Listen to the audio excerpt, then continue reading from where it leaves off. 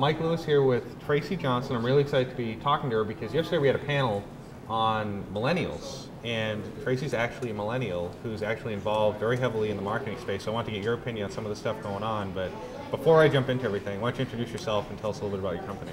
Thanks. So yeah, I'm Tracy Johnson. I work for ENC Marketing. We are um, a government marketing agency right outside of DC and focus on agencies that are trying to reach constituents as well as IT companies and other you know corporate companies trying to reach into the government, which is of course going to be you know a growing market in the next few years. Definitely. And uh, so we heard you know, a great panel yesterday on millennials, and I just felt like I had to, to stand up and represent as a millennial, and, and they touched on some really great points, but I think that we just really touch on the surface, and I have, you know, some varying theories about millennials versus why, and, um, cool. you know, some nuances there that I think were um, touched on, but really could have gone a little bit deeper. Cool. So what, what would you say is different? I mean, in your opinion, you're a millennial, so you're you're you're the you're the case study, right? Yeah. So for someone who's trying to market to the millennial generation, what's really different about you guys?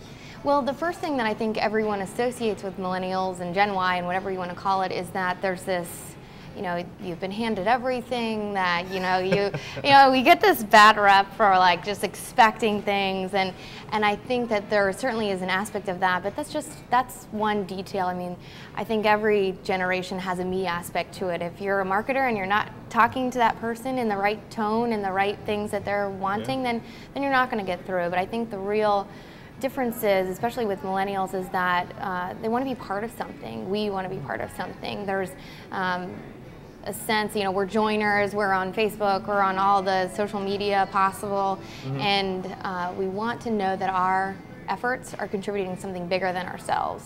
Very cool, very cool. So you mentioned being connected, and I'm going to ask the same question I asked the panel yesterday. Okay. So one of the one of the things I got from Twitter, I asked people to submit questions, mm-hmm. and one of the questions I got was, one of the big stereotypes of the millennial generation is that they're very connected, and know what's going on within their within their relationships that they have, mm-hmm. but aren't really in touch with everything going on in the world. And I know where you are, of course. You're you know you're in the government. You know everything that's going on. But as kind of a broader view, do you agree with that statement? I, I don't. I actually think the complete opposite. I mean, I'm personally a political junkie. I mean, I'm on Slate. I'm on all of those, you know, uh, political thing. I saw ran into Wolf Blitzer at the airport and was like freaked out, like ah, I cool. saw Justin Timberlake. You know, I mean, it's it's like Wolf that in DC. Blitzer, Justin Timberlake. I don't yeah, know. Yeah, I text my friends. I've never and heard they, that comparison before, but only. They were like, "Is he like a new hottie or something?" I was like, um, Situation Room. No. Yeah, come on. so, um, but I think I, I, don't agree with that. I think that there misconcep- misconception is there because there's a different consumption style. Um, people think because we're on these social networks that we're not as productive. I'd argue that we're more productive. We're actually just consuming you know, such a larger percentage of information than, you know, people used to. If you used to read the newspaper and it would take you a certain amount of time, but now I can get, you know, the top headline sound bites in a much faster way than people used to. So, you know, I, I think that a lot of these millennials are out there reading the news. They're they're on CNN, they're on, you know, Fox, they're mm-hmm. on some other news networks, yeah, and yeah. you know, they really are interested and up to speed and they want to be a part of the conversations. They want the knowledge to be a part of the conversation. So, but, but I mean, it's a global impact, right? Mm-hmm, I mean, that's mm-hmm. really what you're looking to accomplish. Yeah. Whereas, you know, my generation, you said it best, you know, we're, we're out trying to start companies and we're going to become individual millionaires and that's our, that was our mission, that mm-hmm. was our driver in life. Uh, whereas this is much more, you know, what can we do as a collective to get out there and do it, mm-hmm. which I think is great. Yeah. I think that's really interesting. So one of the one of the la- one of the ladies yesterday mentioned, um, actually was talking a little bit about that you're very self-centered as a group. And one of the things I thought when she said it, and I, I, we, I only had five minutes at the end, so I didn't get to push her on it. But one of the things I thought at the end is, did you just read that out of a book yeah. or a magazine, or was it? Are, were you seriously saying that your generation is really kind of self-centered? I don't know. I mean, I got the same impression. I just I felt like um, they weren't even thinking about themselves when they were up there. I felt like they were um, very well spoken, you know, great, yeah, oh, great, yeah, great, great, group of people. But uh, a lot of it, they were as if they just read a report on themselves, right, as right. opposed to really looking in and saying, you know, this is how I see the world. And you know, I, but I totally agree with the, you know, we all believe that we will be famous. Really? Yeah. Oh yeah. So that's a perception. It's not I'm going to start my company. It's going to be I'm right. Gonna... It's not. It's not about independence and and um, and you know, making a name for yourself. It's these many people know me. You know, this, I'm, you know, a star on a television show, or I'm on a reality show, or you know, I'm going to be seen here, or I have this many friends on Facebook, or this many people are following me. It's really about, you know, this is my, yeah, status. Exactly. That's really cool. That's, uh, well, I don't know if it's cool or not cool, but yeah. if you're marketing to a millennial, and there are going to be tons of people watching this at home that are going to say, you know, uh, that really want tips on how to target this market, what they need to do differently, if they need to do anything differently. What would you recommend?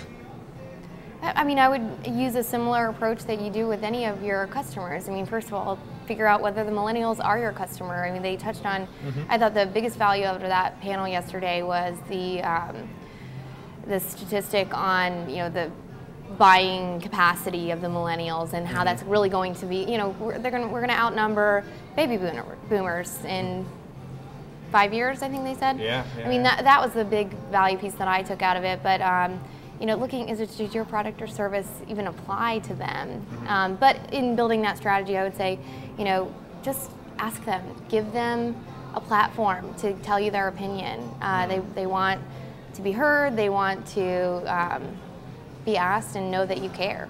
So really, it's, it's about, so if you do figure out that the millennials are the right target for my product or service, it's about taking the time to listen to them, let them contribute, and let them be part of, you know, make them feel like they're part of something bigger. So they're mm-hmm. actually contributing to mm-hmm. the growth of your product and actually almost doing marketing for you. Absolutely. Oh, we will. We'll market for you. We, I can't tell you. I mean, I, my friends are probably tired of, of hearing me talk. they just they stop talking. Like, because I will go off if, if someone has done a good job marketing or has actually provided me value. I will tell every single person I know, and I will to you know maybe I bought it, maybe I didn't, but I will, you know, go on rants for days about certain products or services that I thought were marketed effectively.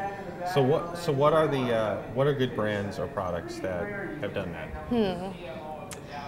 The zinger question. um, let me think. I'm gonna think. I'm gonna. I'm gonna send you my favorites. all right. All um, right. But nothing comes to mind off the top of your head of just brands that have been really good in your eyes about mm-hmm. marketing to. Well, you specifically. I mean, you're a millennial, so you know. Is there any brand that you're loyal to? That's like I don't. I don't know. um, that in itself you know, is I, interesting. I, I, I actually. Um, I'm loyal to um, Nordstrom as oh, a okay, brand. I, okay. I, just I worked for them for many years, and okay. I just I really, I mean, but it get back it gets back to the whole thing that they provide real value and service, and they care, and um, yeah. you know sometimes they don't always carry all the brands that I want, but yeah, yeah, I will go there first and and make sure that they don't carry it before I buy it from somewhere else. That's great. You know, I've heard Nordstrom's name come up every time I've asked that question because of the experience that they give you when yeah. you're at the store, number one, and then just how they make you feel part of a community mm-hmm. overall. Mm-hmm. Apple gets the same kind of thing. right. Believe it or not, uh, well, Starbucks and actually Panera, I'm hearing more and more that people love Panera. Well, sure, a free Wi-Fi. Yeah, well, yeah, anything free I mean, is good, right? it, absolutely. I mean, people will go to Panera to study uh, over tons of places. Yeah, or work, yeah. you know. Uh, but speaking of people that may still be in college, yeah, yeah, yeah, it's you we you know want, we want you to give us something. Yeah definitely. No that's really cool. Well i really appreciate your time. I don't want to take up any more of your time back from learning oh no thank you very much Summit. i really appreciate it. Thanks, thanks for taking some time with us. Bye. Thanks